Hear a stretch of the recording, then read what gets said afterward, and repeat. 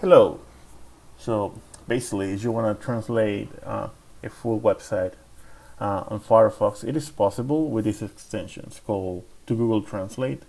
You can find it on the extensions marketplace for Firefox. Uh, it won't work as good as Google's uh, Translate feature that is, you know, embedded into Chrome. Won't work like that. But once you once you install the extension you will get this icon here.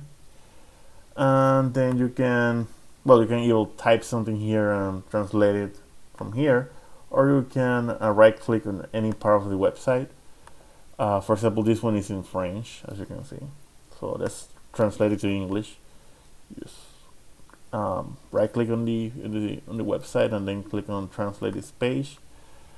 Will take a few seconds and voila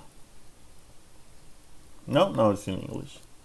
Not perfect though, and you will get this bar on top. Basically, it you know transfers the link to Google Translate website, and then shows you a translated version of the site.